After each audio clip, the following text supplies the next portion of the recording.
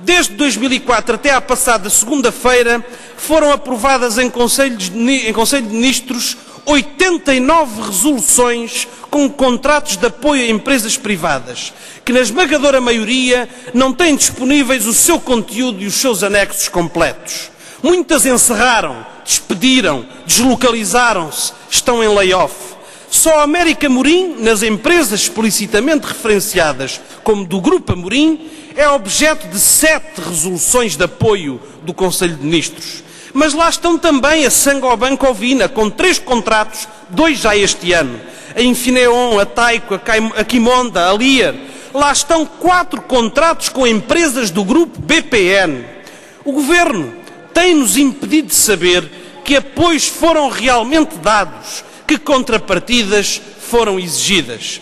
O que sabemos é que vigora a regra da impunidade após serem embolsados os recursos públicos por esta empresa, deixando para o Estado o pagamento das prestações sociais e para os trabalhadores o desemprego.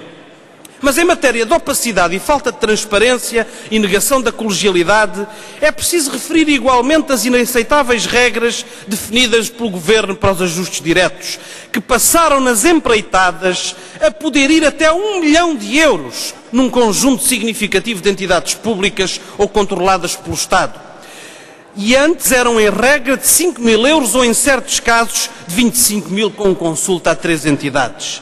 Um aumento máximo para 200 vezes mais, ou dito de outra forma, um aumento de 20 mil por cento no limite de ajuste direto. E escusam de justificar com as diretivas comunitárias, porque estas obviamente não obrigam os Estados quanto aos valores a estabelecer. Quanto à aquisição de bens e serviços, passou-se também para 45 vezes mais, um aumento de mais de 4 mil por cento em relação ao limite anterior. Ao mesmo tempo, possibilitou-se que nas autarquias o Presidente da Câmara ou vereador com delegação passasse a poder decidir sozinho nestes montantes.